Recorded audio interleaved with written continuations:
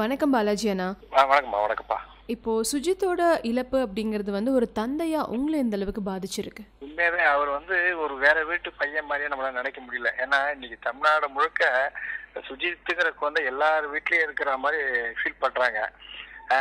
உண்மையாவே நம்ம இந்த வார்த்தையால ஒரு பக்கம் சொன்னாலும் அவங்க வந்து அவங்க அம்மா அப்பாவுக்கு தான் அவ்வளவு பெரிய வேதனையா இருக்கு. அவரு தந்தை ஆஹ் அவர்கள் வந்துட்டு ஒரு அளவுக்கு அப்படியே இருந்தா கூட அந்த பெத்த மனசுங்கிற அந்த அம்மா வந்து அந்த அந்த பாக்ஸ் மேல படுத்து அழும்போது உண்மையே ரொம்ப பதறி போச்சுப்பா காலையில. இப்படி ஒரு யாருக்குமே இந்த மாதிரி ஒரு நிகழ்வு நடக்கவே கூடாது வாழ்க்கையில.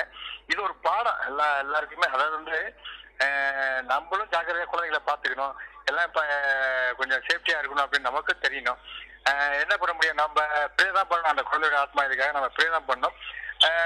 கூடிய ஒரு ஒரு சில நாள் அதாவது இன்னைக்கு ஒரு ரெண்டு நாள்ல வந்து அவ- அவங்கள போய் நேர்ல பாக்குறதா இருக்கேன். அந்த சிஸ்டரை போய் நேர்ல பாக்குறதா இருக்கேன்.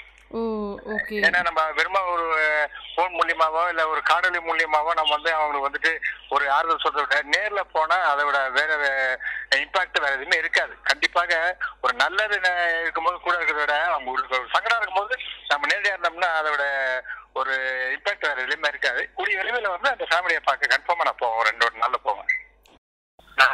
நிறைய இன்டர்வியூல சொல்லியிருக்கேன். நம்ம. குழந்தை மேல நிறைய கவனம் வச்சிருக்கணும். அதை விட்டு இவங்க அசால்ட்டா இருக்கிறதுனால அது வந்து கிராமமா இருந்தாலும் சரி நகரமா இருந்தாலும் சரி அசால்ட்டா இருக்கிறதுனால நிறைய தவறுகள் நடக்குது. நிறைய மிஸ்டேக்ஸ் நடந்துகிட்டு தான் இருக்கு. அவங்க கொஞ்சம் கேர்ஃபுல்லா இருக்கணும். இப்ப அவங்க அம்மா பாத்தீங்கன்னா அம்மா அப்பா ரொம்ப அவங்க கிணறு இருக்கும் போது வந்து இதை வச்சு சேர்த்து அது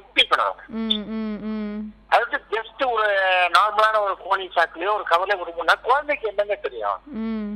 சிட்டியில பாத்தீங்கன்னா நிறைய பெண் குழந்தைங்க வெளியே விளையாடுதுங்க போதுங்க வருதுங்க வாட்டர் கீஸ் ஓகே அது குழந்தைங்க விளையாட செய்யும்?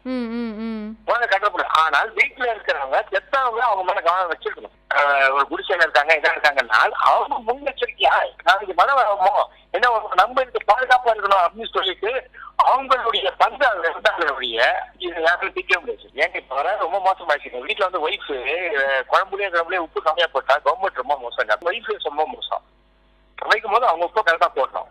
ஆஹ் ஒண்ணு கவர்மெண்ட்டை குறை சொல்ல குறை சொல்ல நீங்க கவர்மெண்ட்டை குறை சொல்றதை விட்டுருங்க. ஃபர்ஸ்ட் நீங்க ஃபர்ஸ்ட் ஆஃப் ஆல் நீங்க சேஃப்டியா இருங்க. நீங்க இந்த எவன் நாளைக்கு தான் இப்படியே இருப்பீங்க? எனக்கு அதான் புரியவே இல்லை. நீங்க கவர்மெண்ட்டை சொல்றீங்க சிஸ்டர் நம்ம பண்ண பண்ண சிஸ்டர் கவர்மெண்ட் எதிர்பார்க்காதீங்க. சில விஷயத்துல எதிர்பார்க்காதீங்க. நீங்க பண்ணுங்க கண்டிப்பா. நம்மளோட சேஃப்டிங்கிறது ஃபர்ஸ்ட் கவர்மெண்ட்டை குறை சொல்றதோ பேச சொல்றதோ அதெல்லாம் செகண்டரி அது தேவையில்லாத வேலை அது. ம் ம்.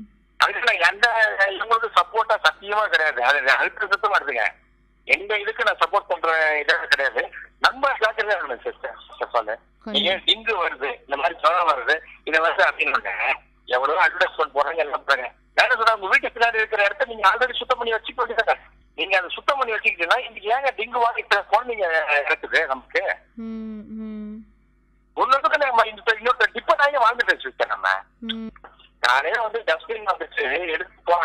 ஆச்சு வீட்டுல இருக்கிற கவரை ம்.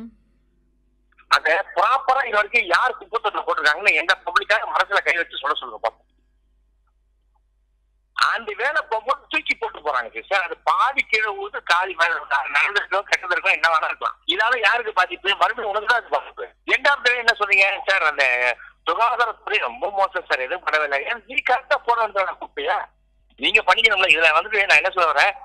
சுஜித்துடைய அப்பா அம்மா வந்துட்டு அவங்க வந்துட்டு ஃபுல்லா கேக் பண்ணிருக்கணுமா இல்லையா? குழந்தை எங்க போகுது? ரெண்டு வருஷம் தெரியும்? நீங்க குழந்தைய பாக்கணுமா இல்லையா? ம். இது ஒரு விஷயம் உண்மையா ஒத்துக்கணும் நான் கண்டினியூஸா ஒரு த்ரீ டேஸா இருக்கிற ஒரு விஷயம் என்னன்னா கண்டிப்பாக அந்த இடத்துல வந்து ஆயத்துக்காக நம்ம போனா நம்ம டிகிரியில வந்துருவோம் நமக்கு தெரிஞ்சிடும் அப்படின்னு சொல்லிட்டு நிறைய பேர் இருக்காங்க அந்த இடத்துல.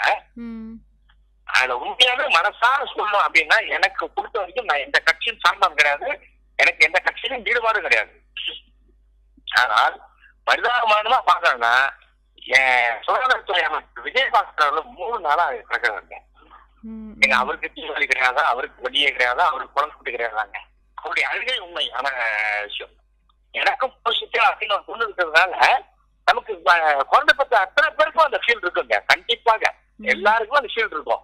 நீ அந்த குழந்தை உள்ள போய் கதறுங்க அதோட அழுகை குரல் கேட்கும்போது ஒரு மாதிரி அழுதுன்னு சொல்லிட்டு எல்லாருக்குமே சங்கடம் தாங்க சரி ஒன்னே உண்டு அவங்க எனக்கு வந்து எந்த விதமான கமெண்ட் கவலை கிடையாது. எதை ஒன்றும் ஓப்பனா பேசக்கூடிய மாலாஜி எதை பத்தி கவலைப்படல ஒரே விஷயம் என்னன்னா ஹண்ட்ரட் பர்சன்ட் நீங்க வந்துட்டு கவர்மெண்ட்டை குறை சொல்றதுக்கு முன்னாடி நீங்க நீங்க பொண்ணு வச்சிருக்கீங்க நீங்க பாதுகாப்பா இருக்கணும்.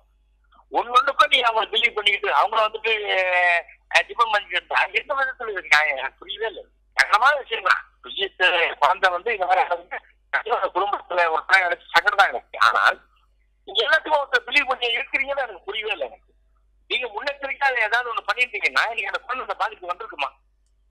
இதனால வந்து இழப்பு வந்துட்டு அவங்களுக்கு தான் அந்த குடும்பத்துக்கு தான் பாவம் இன்னைக்கு இழப்புன்றத தாண்டி கஷ்டம் அவங்களுக்கு. ஐயோ என்ன நடக்குமோ தெரியல என்ன நடக்குமோ தெரியல. டெய்லி இது நரக வேதனை தானே அவங்களுக்கு. இன்னைக்கு யார் வீட்லயுமே வந்துட்டு பாத்தீங்கன்னா எந்த விதமான ஒரு வேற சேனல் எதுவும் பார்க்காம எனக்கு தெரியவே இல்லை எங்க அப்பார்ட்மெண்ட்ஸ்ல எல்லாருமே பாத்தீங்கன்னா இந்த நியூஸ் சேனல் தான். அந்த அந்த ஒர்க் பண்றாங்க இல்லையா சிஸ்டர் அத்தனை பேருமே என் கண்ணுக்கு கடவுளை தான் தெரியுறாங்க. அவங்க என்னதான் பண்ண முடியும்? அது என்ன பண்ண முடியும் சொல்லுங்க.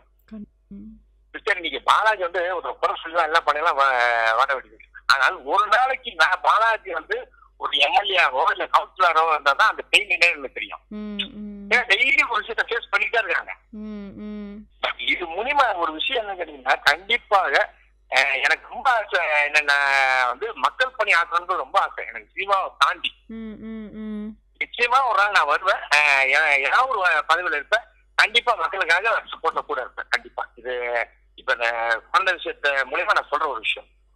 அது நான் அட்வைஸ் பண்ணக்கூடிய அப்பயே நான் வந்தால் ஒரே ஒரு விஷயம் என்னன்னா அட்வைஸ் பண்ணக்கூடிய ஒரே ஒரு விஷயம் வந்து பெற்றோர்களுக்கு உட்காந்து அட்வைஸ் நீங்க பாருங்கப்பா நீங்க ஃபர்ஸ்ட் கேட்க பண்ணீங்க. அதுக்கப்புறம் வந்து நீங்க எந்த குறையம்னா என்ன சொல்லுங்க. என்ன என்ன வேணா கேளுங்க. நான் அதுக்கு ஆன்சரபிளா இருக்கேன். அப்படின்னு நான் சொல்லுவேன் ஒரு ஆக்டர் பாலாஜிங்கிறதையும் தாண்டி உள்ள இருக்கிறவங்களோட அப்பா தான் பேசுறாரு இல்லையா?